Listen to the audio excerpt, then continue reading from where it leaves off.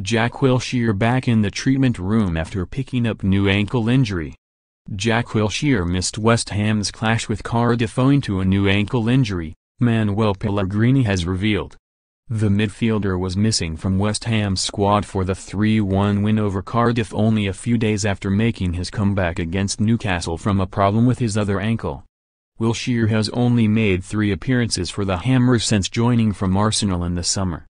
This new injury was revealed by Pellegrini, who said Wilshere had felt pain in his ankle during a training session. Pellegrini said, Jack has a small pain in his ankle, not the one he injured before. Marko Arnautovic also is an injury doubt moving forward for Pellegrini after he suffered a hamstring problem in the first half against Cardiff. He was replaced by Lucas Perez, who scored twice in the comfortable win. Pellegrini was unclear how serious the injury to Arnautovic is and the striker will be assessed in the coming days. We cannot know about Marko at this moment, he said. We must wait until tomorrow to see the medical examination and then we'll know what it is.